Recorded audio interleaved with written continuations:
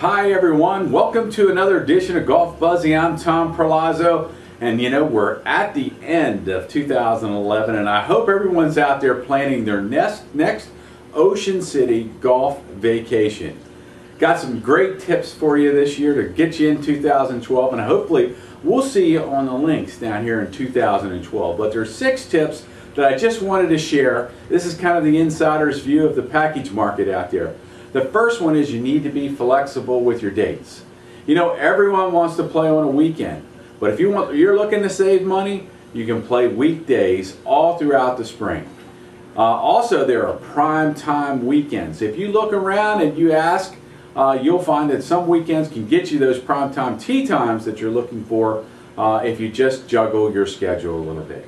The second tip is everyone wants to play at 6 a.m. or 7 a.m. or 8 a.m. to get the morning round in so they can do something else. But look, if you're looking to save money and keep more in your pocket to do something else, check afternoon rates. Every golf course here on the shore has afternoon rates and you might be able to get a better deal on your package. Just ask your golf packager or peruse the website at www.oceancitygolf.com.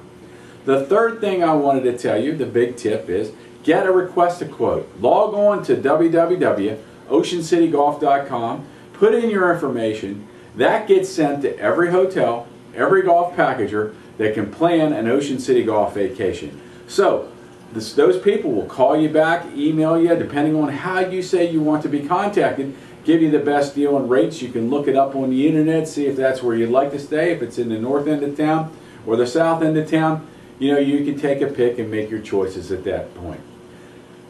The fourth thing out there is I know when I go to play golf, I want to play golf from sundown or sun up to sundown. And if you're looking to play 36, another way to save money is play the afternoon round as a replay.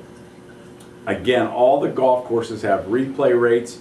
You can check availability and be sure to do that. Uh, you can play 36 that day without hopping in your car, driving another couple of miles to play the next golf course. The fifth thing is that, you know, Ocean City's not really big, so it's not like Myrtle Beach per se, where you might drive 40 miles to play golf from one end of town to the other. But if you're staying in the north end of town, anything Route 90 and above can get you to a golf course pretty quick. You know, depending on the time of year, you know, there's no traffic in Ocean City anyway, but Route 90 and above can put you on River Run, um, can put you uh, out all the Delaware golf courses.